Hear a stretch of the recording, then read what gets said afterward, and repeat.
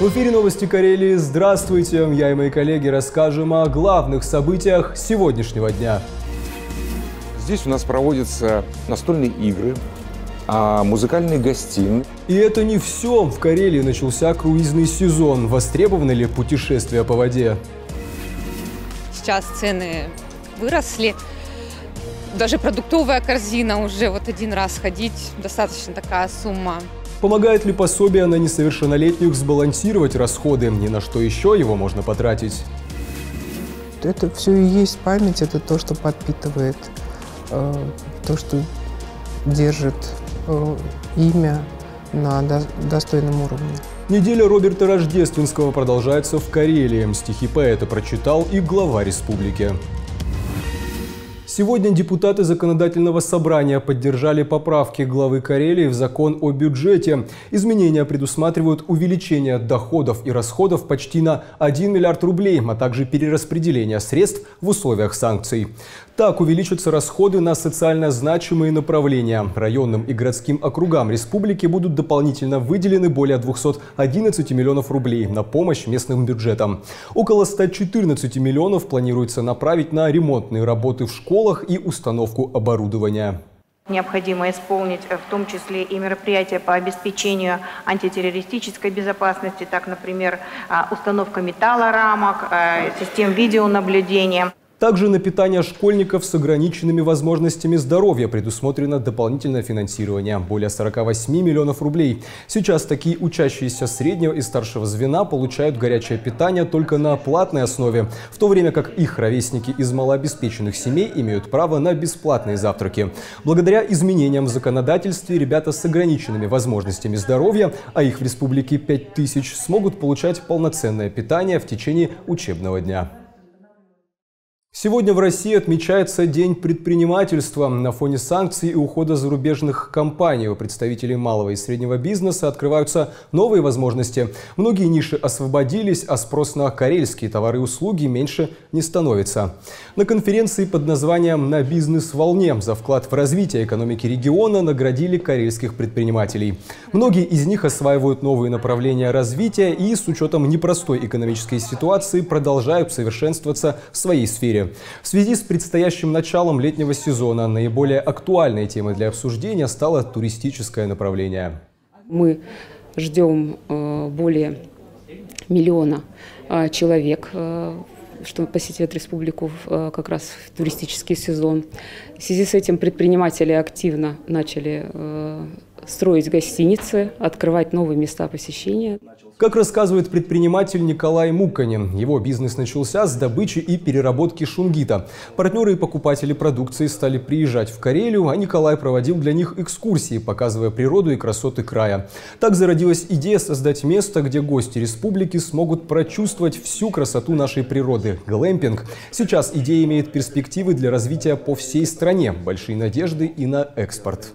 Мы под себя организовали производство модульных домов, которые мы используем у себя, также мы их продаем на, ну, другим заказчикам. Вот. И у нас мы выкупили тентовое производство, на котором мы делаем тентовые палатки сафари-домики, очень популярны сейчас в глэмпингах. Мы их тоже сейчас э, экспортируем, уже начинаем. Также на конференции предпринимателям рассказали о мерах поддержки малого и среднего бизнеса и нововведениях в сфере налогообложения. Туристический сезон в этом году обещает быть горячим. Власти республики ожидают более миллиона путешественников. И попадают к нам гости самыми разными способами. Один из них – билет на круизный лайнер. Как устроена жизнь судна и чем можно заняться на борту, расскажем в нашем сюжете. В порту Петрозаводска пришвартовался Дмитрий Фурманов. На борту туристы, 306 человек. Свободных кают нет. Ходит Фурманов по северо-западу, по Ладоге и Онега, Свири и Волхову. Маршрут традиционно пользуется популярностью у жителей крупных городов. За время поездки гости Карелии успевают познакомиться с островом Кижи, Петрозаводском и Валаамом. Естественно, новые времена требуют новых подходов. Все оборудование давно другое. От навигационного и рулевого до дискотечного. Сменилось и назначение многих помещений. Например, на месте бывшего читального салона расположилось кафе с видовыми окнами. Здесь у нас проводятся настольные игры, а музыкальные гостиные, как видите, у нас здесь есть а, пианино. А сюда мы ставим синтезатор, и здесь проходят музыкальные гостиные у нас. Очень миленько, кто-то, опять же, пьет кофе, чаек. Развлечения также предусмотрены, но в них особой надобности нет. Идет теплоход только ночами, а с утра новый город и новая экскурсия. Но после ужина пассажиров ждет вечернее шоу, а дети весь день заняты с аниматором или няней в игровой комнате, в зависимости от возраста. Время свободного много, организация и музыка, и танцу, танцы там, в общем, и для всех, и для деток, и для взрослых. Высокий спрос на отдых в Карелии открывает новые перспективы для жителей республики. Налоговые поступления от туриндустрии в прошлом году увеличились. Власти прогнозируют, что в этом году регион посетит более миллиона туристов. Среди них и ценители водного транспорта. Способы развития отрасли обсудили на заседании правительства республики. Мы не случайно называем туризм одним из драйверов развития экономики Карелии. Объем налоговых поступлений от организации республики сферы гостиничного бизнеса и э, туризма в прошлом году э, вырос практически в полтора раза. В свою очередь, представители турбизнеса могут подать заявку на компенсацию понесенных затрат. Так, в конце прошлого года Минэк Карелии и органы местного самоуправления возместили предприятиям 35 миллионов рублей. Сейчас проводится повторный отбор на предоставление этой меры поддержки. Алексей Неживенок, Александр Колобов, Служба новостей. В губернаторском парке состоялся фестиваль «День рождения юнармии». Мероприятие приурочили к шестилетию Всероссийского военно-патриотического движения. 36 новобранцев торжественно приняли присягу юнармейца, им вручили красные форменные береты и долгожданные значки с орленком. В России сегодня более миллиона юнармейцев, в Карелии чуть больше 6 тысяч ребят. У меня подруга ходит сюда, и она мне много чего интересного рассказывала. Мне тоже очень захотелось, и я ходила уже на некоторые занятия. Летом планируется проведение сборов и состязаний. Впереди лагеря «Артек», «Орленок», «Океан» для летнего отдыха. Но чтобы туда попасть, нужно поработать и поучаствовать в конкурсах. Ближайшее мероприятие – это, конечно, игра «Победа». Сейчас будет э, республиканская, потом э, в июле будет всероссийская игра «Победа». Это, это основное такое мероприятие, которое где ребята показывают свои навыки, которые они создают. Да, это и полоса препятствий, и э, разборка автомата, и стрельба. Мероприятие организовано в рамках проекта «Школа юнармейских командиров», получившего грантовую поддержку главы Карелии. «Человеку надо мало» – стихотворение Роберта Рождественского прочитал в Карельской филармонии глава республики Артур Парфенчиков. В эти дни в Карелии проходит неделя, посвященная 90-летию известного поэта-шестидесятника. В филармонии состоялся концерт «С рождения до вечности». Вместе с петрозаводскими зрителями песни на стихи Роберта Рождественского слушала его дочь Екатерина Рождественская, известный фотограф, журналист и писатель. Человеку надо мало. Чтоб искал и находил. Чтобы имелись для начала друг один и враг для концерта к 90-летию Роберта Рождественского Артур Парфенчиков выбрал свое любимое стихотворение. «Букет цветов для дочери поэта Екатерины Рождественской» со словами «Приходят новые поколения, но они совершенно свободно перенимают мысли, философию, душу великого поэта». Роберт Рождественский считал Карелию второй родиной. Он учился в Петрозаводском госуниверситете и здесь нашел первого издателя.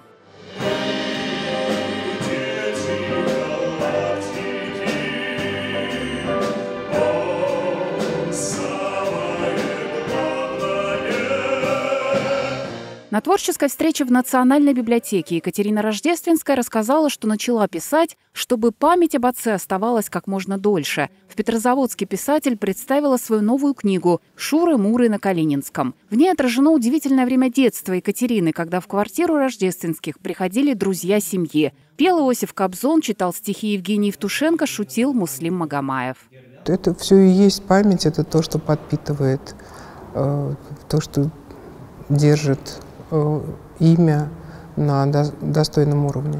Екатерина Рождественская предложила создать в библиотеке небольшой музей Роберта Рождественского, для которого она готова предоставить семейные реликвии, личные вещи отца. Юлия Кучеренко, Станислав Шведов, Алексей Локтев, Служба новостей. За школьниками во время экзаменов будут следить видеокамеры, а карельские стоматологи начали консультировать в Телеграме. Подробности расскажем коротко. В 341 учебном классе Карелии установили камеры видеонаблюдения. Они будут следить за порядком во время сдачи ЕГЭ. Основной период экзаменов пройдет с 26 мая по 2 июня.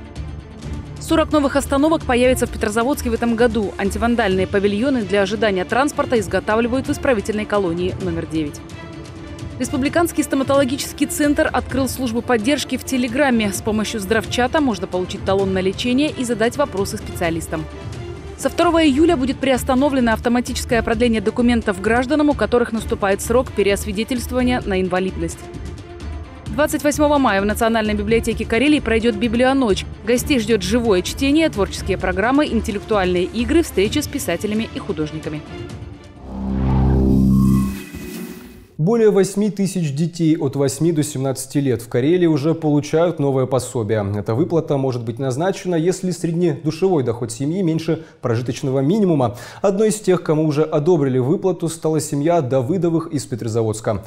Помогает ли пособие на несовершеннолетних сбалансировать расходы и на что еще его можно потратить, узнала Наталья Ильина. У маленького Саши большая и дружная семья из пяти человек. Мама, папа, старший брат Рома и сестра Лена. Глава семейства ходит на работу, а вот Анна сейчас находится в декретном отпуске. Если посчитать среднедушевой доход такой большой семьи с тремя детьми, где работает только один из родителей, получится, что он составляет меньше прожиточного минимума на человека. С 1 мая этого года дети от 8 до 17 лет в семьях с невысоким доходом могут получить новое пособие. Семья Давыдовых – одна из тех, кому уже одобрили выплату. Нам назначили, да, стопроцентный прожиточный минимум, то есть это где-то 14 с чем-то тысяч. Мы оформили на госуслугах, да, с 1 мая, я так понимаю, нужно было подавать. Можно было и раньше, но мы не старались, не гнали за этим. Оформили в начале мая, проблем у меня никаких не было с оформлением. По данным Пенсионного фонда, более 8 тысяч детей от 8 до 17 лет уже получают новое пособие. В районах Крайнего Севера его размер составляет 15 530 рублей. А в местностях, приравненных к районам Крайнего Севера, 14 504 рубля. Конечно, пособие поможет нам. Во-первых, дети растут, э, одежду нужно покупать, обувь. Сейчас цены выросли даже продуктовая корзина уже вот один раз ходить, достаточно такая сумма приличная. На развлекушки какие-то детям, в кино, в батутник, то есть э, на кружки мы ходим. При назначении пособия в мае деньги перечислят в том числе за апрель. Документы подать можно и позже. Если это сделать до 1 октября этого года, выплата поступит за весь период с 1 апреля. Если гражданин обратится после 1 октября, то, соответственно, будет устанавливаться выплата уже непосредственно с э, месяца обращения. Заявление рассматривается 10 рабочих дней. Получить консультацию по вопросам назначения выплаты можно по телефону горячей линии пенсионного фонда или по номеру контакт-центра. Наталья Ильина, Александр Колобов, служба новостей. На Левашовском бульваре в Петрозаводске начали сносить аварийные деревья в рамках масштабного благоустройства бульвара. Также пешеходные дорожки сквера вместо асфальта замостят белорозовым гранитом, установят скамейки и праздничную иллюминацию. И посадят более 200 новых деревьев – лип, елей, яблонь, кленов и кусты боярышника. А старые деревья спиливают потому, что они представляют опасность для пешеходов и автолюбителей. К сожалению, деревья находятся в аварийном состоянии. У очень многих есть дупла глубокие, есть э, более глубокие повреждения, есть менее. Очень многие деревья имеют наклон ствола, и корневая система уже приподнята, отрывается. Поэтому с целью предупреждения как раз-таки аварийных ситуаций и сносим их. Всего на благоустройство потратят 111 миллионов рублей. Завершить работы планируют до конца сентября этого года. Для спорта не бывает ни слишком рано, ни слишком поздно. Что уж говорить о спортивных состязаниях. В Петрозаводске вновь прошла спартакиада пенсионеров. Азарт, состязания и товарищество. В Петрозаводске прошел очередной этап спартакиады пенсионеров. В командных и личных зачетах шла борьба за выход в финал на Россию. И для участников состязаний была возможность использовать ради победы весь свой спортивный и жизненный опыт. Наш командир пригласил поучаствовать ну, в частности, по пулевой стрельбе, так как я занимался биатлоном, ну, в данный момент ну, охотник, рыбак-охотник. Поэтому стрельба близко ко мне. Поедем на «Спартак», будем, наверное, еще бежать километр. А на стадионе «Спартак», где готовился забег на километр, собрались участники, организаторы и те, кто пришел поддержать своих товарищей. Многие здесь побывали уже не в первый раз и связаны общими воспоминаниями. Мы отстрелялись, поддержали команду, которая занималась теннисом, сейчас вот заканчивают, и поддержать своих товарищей, которые будут бежать вот эту дистанцию. Я участвовала в данной спартакиаде, это было, по-моему, два года тому назад. Я тоже стреляла, но так получилось, что мне пришлось бегать на этом стадионе. И пришла женщина на соревнования, и меня уговорили пробежать этот километр. Я согласилась на эту авантюру. Я пробежала, значит, здесь два с половиной круга. Последние 400 метров я запомню на всю жизнь, потому что я, мне дыхания не хватало. Я бежала из последних сил, но я понимала, что команду надо поддержать, с дистанции не уйти. Несмотря на относительно недавнюю историю этого состязания, Карелии уже есть чем похвастаться. Вот 8 лет назад э, провели как раз первую спартакиаду. Участвуют все команды, а потом мы по всем направлениям отбираем лучших и составляем э, сильную команду пенсионеров на российские соревнования. Два года назад у нас наша команда э, пенсионеров э, России заняла третье место в России среди пенсионеров, среди 85 регионов. Испытания регионального этапа окончены, оставалось определить победителей, раздать медали и кубки. Конечно, сразу после общей трапезы, где можно оставить переживания этого дня. Михаил Платонов, Александр Колобов, служба новостей. Дайверы нашли возле Валаама неопознанное затонувшее судно. На данный момент известно, что это пассажирский борт, когда-то носивший имя «Святая Елена». По предварительным данным, он затонул из-за столкновения с каменной грядой. Однако специалисты смогут подтвердить эту версию только после подробной экспертизы. Главная же цель исследовательской группы, работающей на Ладоге, затонувшие церковные колокола, которые были потеряны более 80 лет назад. Для их обнаружения участники клуба подводного плавания «Дива» используют гидролокаторы, магнитометры и подводные металлоискатели. Остров Улам в очередной раз удивил нас. И я считаю, что это только начало находок, потому что территория, акватория поиска, она очень большая.